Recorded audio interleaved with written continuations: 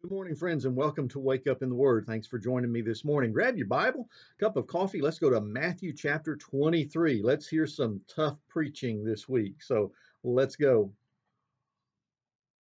If you uh, really hate to hear that word hypocrite, then you're going to have trouble with this week's messages. But you know what? That's one of those words that sometimes needs to be used, especially when referring to people who parade their own uh, shall we say, supposed integrity and their own popularity in front of people, their own privilege in front of people, and then do just the opposite of what they're telling you to do. Oh, it reminds us of things that happened during the lockdowns when you'd have a politician that would say, Oh, listen, we're closing all the hair salons. You don't need to get your hair fixed. But you know, because I am the the the image of the government right now. I need to get my hair fixed, and I can even call on one of you who's been shut down and make you fix my hair. Or the person that said, "Hey, you know, you can't go anywhere. We're going to put travel restrictions in place. You can't travel, can't go anywhere. Oh, by the way, but don't tell anybody. I'm on my way to the Caribbean for a vacation with my family tomorrow." you know, and, and the word hypocrite just keeps popping up over and over again when we see people act like that. And perhaps the worst place that that word can be demonstrated is from the pulpit or from Christians in particular who may have a position, whether it's preaching or teaching or leading in a church, who promote a certain lifestyle and stand by that and and and often even speak against people who are living what would be considered immoral lifestyles and they turn around and do exactly what they're criticizing that's a hypocrite. And hypocrites are especially distasteful within religious circles, aren't they? Well, Jesus is about to call out the scribes and the Pharisees for being just that kind of people. And he hits them with, depending on which translation you're coming out of and which commentary, either seven or eight woes here in chapter 23. And we've made it down to verse 13, where he begins to get down and dirty, you know, honest and ugly with the Pharisees about the way they are living. Let's look at it in verse 13. We're reading out of the Christian Standard Bible, where he says, Woe to you, scribes and Pharisees, hypocrites! You shut the door of the kingdom of heaven in people's faces, for you don't go in and you don't allow those entering to go in. Woe to you, scribes and Pharisees, you hypocrites! You travel over land and sea to make one convert and when he becomes one, you make him twice as fit for hell as you are. Well, now, these are some strong words, and we're going to stop with these for just a minute to explain some things because obviously Jesus is not happy with the way these folks have been living. Now, they are very evangelical and trying to draw people into their brand of Judaism, but as we have seen throughout the Gospel of Matthew, this is one that's filled with legalism, rules and regulations that have nothing to do with Scripture, and it sets up a very uh, a high standard. Sometimes a high standard needs to be set, but here uh, is a group of people setting an impossible standard based on rules they have created that have nothing to do with honoring the Lord. And by setting such a high standard, obviously there are few that get to their place, their pinnacle of so called righteousness, which allows them to look down on everyone else. And of course, then they build up their own reputation and image so that they, they almost demand that the people look to them and admire them for their supposed religiosity. Well, as the commentators deal with this, I want you to listen to what uh, what kind of language is used, especially.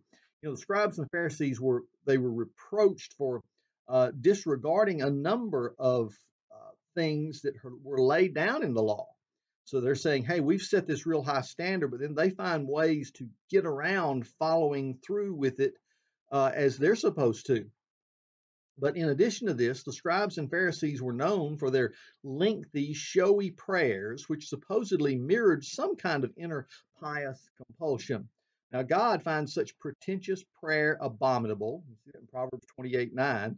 And because of their practices, the scribes, being teachers, would be judged much more severely because they should have known better. Opportunity demands a sense of responsibility. Now, let me say that again. I, I love that as a, a commentary that I'm reading straight out of the Complete Biblical Library. I can't tell you who wrote this, but I love this sentence. Opportunity demands a sense of responsibility. That's true, especially when you go up another step. The higher the ladder is, as far as uh, when your your church is larger, your community is larger, when you have an even greater responsibility when it comes to the people that are looking to you for leadership and guidance, uh, that's when it gets even bigger. You know, you have that responsibility to so many more. If you lead them in the wrong direction, you're leading now multitudes away from God. So it's very important that people, as they rise to significant places of authority and responsibility in any community, country, or church, that they understand this completely. They need to live lives in front of their people that exemplify what they want their citizens or their church members to be like. Opportunity demands a sense of responsibility. But when it talks about this uh, idea of converting people to Judaism, I want you to catch something that is an, an interesting fact here. Uh, there were two kinds of proselytes into the Jewish faith. There were proselytes of the gate who were not circumcised, had to meet very few requirements. But the second, which is the one that the Pharisees strove for, was those proselytes of righteousness who were compelled to follow all of the Jewish rites and customs. Now, that means these Pharisees had used almost every method at their command to try to win people to the Jewish faith. It was the monotheistic faith of the day, in contrast to many of those polytheistic religions, uh, people who had many, many gods that they worshiped, and just, you know, you got enough? No, we can add two or three more statues to the list, and just, you know, how many gods can you have? Well, how many can you make? I, you know, and so this was the religion of monotheism of the day very attractive to many people. So they would take any effort to win people to their faith. But Jesus used the strongest possible terms of condemnation to describe what they were doing about it. For example, when he uses that phrase, a, a child of hell, it's a Hebraism, meaning an excessively evil person. He showed how they rated, in his own view, their attitudes, which inspired their actions, literally came from hell. So Jesus added that once converted, these proselytes were even worse than the hypocrites who had secured their commitment. Well, it tends to be the, truth, doesn't it? When you go out and win someone to your faith, they tend to zealously take hold of it and may go even farther than their own teachers in observing it.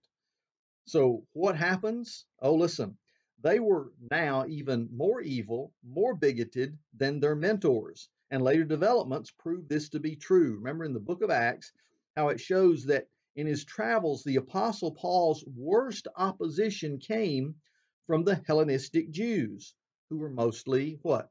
Proselytes.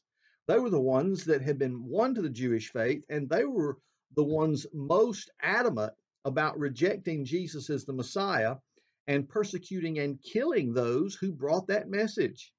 Amazing, isn't it, that the very words of Jesus were fulfilled in the next generation of the first century church, as uh, when he said he he becomes twice as fit for hell as you are. These these converts that you make, and these were some of the same ones who persecuted the church most severely. Well, friends, if there's any lesson to be learned here, is it is practice what you preach. And for some people, they take that to mean, well, just don't preach anything and I won't have much to practice. That's not what Jesus wants us to do. He wants us to live good and righteous and moral lives according to the scriptures. But just make sure that what you're sharing with others, when you share the gospel and a, a lifestyle that is pleasing unto God and follows the commands of scripture, that as you share that lifestyle, you can look in the mirror and say, I'm practicing what I preach.